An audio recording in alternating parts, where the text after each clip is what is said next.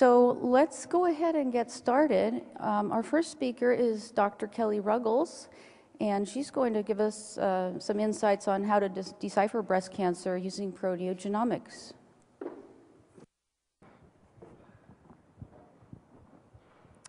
Hi. So today I will be uh, describing some of the bioinformatics methods that we are developing for deciphering breast cancer proteogenomics uh, and focusing on uh, biomarker discovery. So breast cancer is a leading cause of cancer death among women, makes up 23% of cancer cases and 14% of cancer-related deaths. And the cl classic breast cancer biomarkers, uh, such as HER2, estrogen receptor, and progesterone receptor, have been successful in classifying tumor samples as well as determining treatment. However, the lack of breast cancer biomarkers is still a major obstacle in early detection, diagnosis, and treatment. And many groups have focused on discovering uh, proteins with altered expression in plasma for early detection. Uh, we are focusing on identifying proteins with altered expression in tumor tissue and tumors with tumor-specific proteins um, as target strategies. This work is done um, as part of the Clinical Proteomic Tumor Analysis Consortium, or CPTAC, which is made up of many different institutions throughout the US. The goal of CPTAC is to accelerate the understanding of cancer through quantitative proteomic workflows. Uh, this work is also done in collaboration with the TCGA, or the Cancer Genome Atlas, the goal of which has been for many years to understand the molecular basis of cancer through the application of genomic analysis. So cancer is characterized by altered expression of tumor drivers and suppressors, which result from gene mutations causing changes in protein expression and activity. And we are using cancer proteomics to try and understand some of this genetic variation. And the questions that we're looking to answer using cancer proteomics are whether or not these genomic variants are evident at the protein level. If they are evident, what is their effect on protein function? Additionally, what proteins have just altered expression in tumor tissue?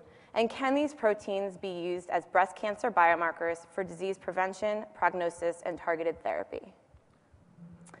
So there's widespread tu uh, tumor genomic variation, um, even within the same tumor type. This uh, graphic just shows 24 different breast cancer tumors. Um, around the circle are different chromosomes, so this is genome-wide. We're looking at the whole genome for each tumor. And these lines uh, represent genetic uh, reassembly, so a recombination. So it, it, these lines result in fusions, deletions, duplications that can be present also in the proteome. And what you can see here is that there's a wide variation even within all of these different tumor, uh, breast tumors. Additionally, whole genome sequencing studies such as the Thousand Genomes Project have uncovered millions of germline variants between individuals. And I'm stressing this ge genomic heterogeneity because many genomic and proteomic studies typically use a reference database to model the general population, which masks this patient-specific and tumor-specific variation. So we are using proteomic, genomic, and transcriptomic data from large-scale cancer studies and analyzing them instead in a patient-centric manner in order to get at this, uh, this tumor and patient-specific variation. So um, after we take our samples and digest and do LC-MS/MS, we then identify peptides within the spectra by comparing to a protein database. And as I mentioned, typically this is a reference protein database. And in most cases, it, it does a pretty good job of identifying all of the, pep, well, the peptides, many of the peptides within the sample. Um, unfortunately, in samples such as tumor, where we have a lot of different uh, variants, uh, if we don't have the variants within the protein database, we will not be able to identify them from our, our spectra. So in addition to, in addition to germline variants, um, so these are the uh, variants that exist just between patients. Tumors also have somatic variants. Um, they also have fusion proteins and many other variation, vari genomic variations that occur within the tumor. And unfortunately, these will not be represented in a reference protein database. So ideally, we would be using a database that has all of the, this genetic uh, variation within the database itself, so we could actually identify these uh, peptides and proteins. So the, the ideal database would contain all of the potential relevant uh, peptides and proteins, and, and would not contain too many irrelevant uh, peptides and proteins because if we have too many irrelevant proteins, we're going to decrease our sensitivity. So in order to make an appropriate protein database, we decided to use RNA and genome sequencing data um, from each tumor and create a tumor-specific database from which we could identify tumor-specific and patient-specific peptides from our proteomic analysis. So the breast tumor samples that we're using for this study are uh, patient-derived xenograft tumors, or PDX tumors. These tumors um, are created by taking primary cells from breast tumors and injecting them into immunodeficient mice where they're able to grow. This gives us a hypothetically unlimited quantity of protein of tumor because can, you can continue grafting these into different mice. And um, it can be used to assess drug resistance based on genomic and proteomic makeup because you can have many mice with the same tumor and look at how they respond to different treatments. So currently there are 14 of these PDX tumors undergoing proteome analysis. They've already undergone both genome, genome sequencing and RNA-seq. And these are um, created and maintained at Washington University UNC PCC. Um, we're additionally working with uh, TCGA retrospective tumors. So the TCGA has been working, as I mentioned, for many years doing uh, genome sequencing of tumors. They have a very large collection of tumor samples from many different tumor types. They have over um, 900 breast tumors. Uh, we are looking at 95 of these for global and phosphoproteome analysis, which is being done in Steve Carr's lab at the Broad. So this is just an overview of our workflow. Uh, we again start with these tumor, these different tumor types. Um, again, they've already been sequenced. The genome sequencing and RNA-seq has been completed, and currently um, we are working towards doing both global and phosphoproteomics.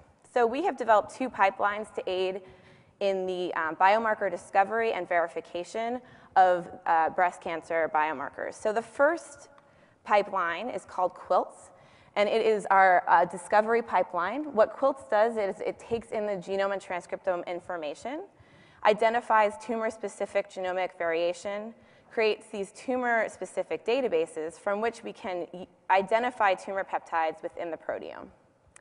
We then do proteomic mapping and integration and incorporate some of our quantitative information, um, after which we can then identify biomarker candidates.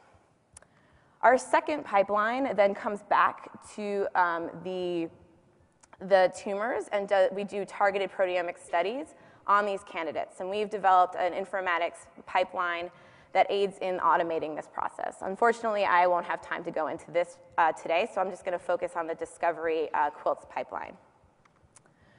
Um, so I just wanted to briefly mention the instruments and methodology that's being used to collect the proteomic data. Uh, at the Broad, iTRAQ quantifi quantification using a Q Exactive for the global and phosphoproteomics, and also at WashU and UNC, they're also doing some of this global and phosphoproteomics as well. And the targeted studies will be done in Reid Townsend's lab at WashU using parallel reaction monitoring mass spectrometry. So in order to develop and validate our quilts pipeline, we use two of the patient-derived xenograft breast tumors. These two tumors come from uh, two different subtypes, a basal-like and a luminal-like. Uh, they have already undergone both whole genome sequencing and RNA-seq, and using this information, we created tumor-specific libraries. Um, I'll go into a little bit of detail about how that was done. So we start with a reference human database. In this case, we used Ensembl. We then um, use the genome sequencing from the non-tumor sample to identify germline variants and we incorporate these into the database. We then use the genome sequencing and RNA-seq from our tumor sample and identify alternative splicing, somatic variants, and novel expression, and also incorporate this into our database as well. So I'll just, this is just some uh, representation of these, uh, these tumor-specific variations. We have alternative splicing. We're focusing on novel alternative splicing, so novel recombination of two exons through exon skipping a novel expression in which there, there is expression within an intronic or non-coding region. These, uh, sorry, these um, orange uh, represent the RNA-seq reads.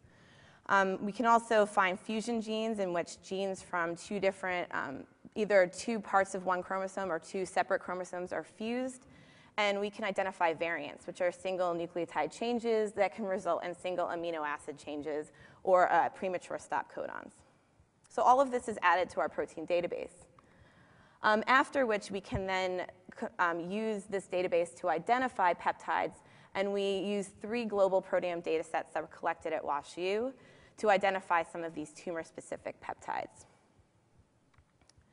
So um, we do this through the spectral matching, um, taking our spectrum matching to our, our specific database. We filter out all of our normal peptides. We are interested in these peptides, and we'll come back to them when we have our quantitative information. But for now, we were just focusing on these novel peptides. And then we will also, we also map these all back to the genome using a, a tool called PGX, which I'll go into a bit more detail in the following slides. So from this initial analysis, we were able to identify uh, several hundred variant peptides between the two tumor types, novel alternative splicing, as well as um, novel genes in both of the, the basal and luminal tissues. So we then went on to test some visualization methods for proteomic integration using um, PGX tool. So PGX is a proteogenomic mapping tool that was created in-house by Manor Askenazi and David Fenyö. It's a Python-based tool. It takes in a list of peptides and um, gives an option of a sample-specific protein database. And it maps these peptides onto genomic coordinates. Um, so you, it gives you a bed file with all of your genomic coordinates, coordinates within it. And so this uh, opens up a lot of opportunity for looking at things on a proteogenomic level. So I'm going to show a few examples for this. So here, um, we are able to map uh, our, all of our genomic and RNA-seq and peptide information um, for the whole chromosome. Um, so here we've binned all of our expression in 10,000 base pair bins. This is actually a ratio of the, two, the expression in the two tumors. Just, um, we're, we're, just doing this for our development. Um, so we can look at copy number variation. We have methylation status information, exon expression, and we've also been able to map our peptides onto the same coordinate system. And you can focus in here and see that there is an increase in exon expression in RNA-seq data. It looks like there is also an increase in the peptide, and we can focus in on this area and see that, in fact, there is um, an increased level of expression in both RNA-seq and peptides. And of course, um, as I mentioned, these two tumors are, are, just being used to develop this tool. Once we have all of our TCGA tumors in our pipeline, we'll be able to look at all of them um, on a genome-wide level with all of the genomic and proteomic information. Uh, we can also look at correlations between proteomics and sequencing. Um, so we've uh, We've plotted copy number versus RNA-seq, which has very low uh, correlation. RNA-seq versus peptide, which has actually a pretty nice correlation. Um, and peptide versus copy number, which again has very low cor correlation. And we're really going to focus in on proteins with differential expression within the TCGA analysis as biomarker candidates and also to cluster tumors into new subtypes. In addition to looking at it on a genome-wide scale, we can focus in on some of these variant peptides that we've identified using our sample-specific database. So here you can see a peptide with a single amino acid change corresponding to a variant. Um, this peptide was identified um, in our global proteome analysis, and the, the um, variant, which you can see here in our genome um, browser, causes a change in the amino acid sequence from T to A, and we were able to identify this peptide, which would not have been identified had we not used our uh, tumor-specific database. We, are, we can also um, look at peptides that uh, are, are, show expression in non-coding regions. So here is our Ensembl reference gene in blue in the RNA-seq, we see that there, it's coding for the second exon, but this first exon appears to be starting in an intronic region. And we were able to identify a tumor peptide that actually um, is consistent with this RNA expression. And this is just the spectral evidence for this within our um, proteome analysis.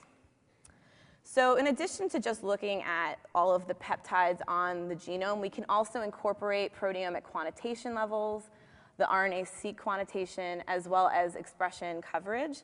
And we're also adding in the phosphorylated um, peptides. So this is a really nice way of looking at all of the information at once. Um, and then following this, we're also going to look at all of the 95 tumors um, as a heat map in terms of their proteomic expression. So this is, uh, this is just visuals from the cancer genome browser. Um, they actually have all of the TCGA analysis already uploaded onto their, uh, Their systems, so this is, these are, some of these are the same samples we're working with. They have it for all of the different genome-wide. I've just chosen some um, breast cancer genes, and you can see the gene expression, and you can sort by clinical features. Um, and so we're going to do the same thing with our tumor samples, so we can look not only proteogenomic within the sample and then across samples. So just to summarize this pipeline, we've established quilts for the analysis and integration of genomic, transcriptomic, and proteomic information. We've tested our pipeline using two PDX uh, breast tumor samples and identified peptide expression for somatic variants, alternatively spliced forms, and novel expression.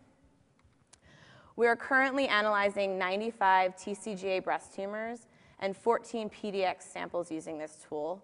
Um, and once this analysis is complete, we will use all the information to create this list of biomarker candidates and verify them by targeted MS. So this is just where we are in terms of the TCGA breast tumor analysis. We have um, created these tumor-specific databases for all 95 tumors, and currently the proteomics is being done um, at the Broad uh, to create this proteome analysis, which we can then identify tumor peptides. So um, the next couple months should be pretty exciting. I'm sorry I don't have the analysis done for you now, but uh, come back next year and we can talk about it. um, so with that, I'd like to thank um, my uh, PI, David Fenyo, all of the people in the Fenyo lab, particularly Meera and Zhou who helped with the sequencing, um, all of uh, the CPTAC consortium, particularly our collaborators at WashU, Broad, and UNC. Questions? Thank you, Dr. Ruggles. That was a really exciting talk, and I'm pretty sure that we're going to have some questions from the audience. Please do use the microphones. Hi, uh, a very nice work. So uh, I'm wondering what, how redundant of the proteome database uh, if, when you build up based on the genome and the RefSeq database. Sorry, say that one more time. The redundancy of the uh, proteome database when The- you start to build up add the uh, genome and the RefSeq together. So we don't, I mean, the only things we add in is, are, are variant changes. So we don't add back in anything that's already within the database. So it's only if there's a variant change, we'll add that in. And if there's a new alternatively spliced form, we'll add that in. But we don't add in anything that's already within the database. So you don't uh, assemble to the protein level and uh, see the final protein ID, which yeah, so, form. so we look at whether or not it causes a change in the, pro, the proteome, and then if it does, we add it. Okay. Yeah. Okay, thank you. So is each uh, proteomics data set searched against its own Yes. database from the? Yes, thank you. Yeah. Hi, I noticed that you identified significantly more variants in the luminals versus the basals. Do you see this back at protein level, and is there any functional uh, correlation there? I noticed that also. I'm, I'm not sure why. I'm definitely looking into it, but I don't have a good answer for why that's happening. Yeah. Um, so I'm wondering, are you uh, only work on the tryptic peptides or you do multiple enzyme digestion? We were just looking at tryptic right now. Oh, okay, Yeah. yeah, sure. Yeah, thanks. I have actually one question for you, too. Um, Traditionally, so working with the xenografts, you have, you're working with both mouse and human proteins. How did you deal with that in this workflow? So with the xenografts, we do incorporate mouse proteins as well. So when we um, search, we search against mouse and human, and then we filter out normal mouse and human before looking for the variant peptides. So we are taking that into account. Yeah. Well, great, thank you very much for an excellent talk.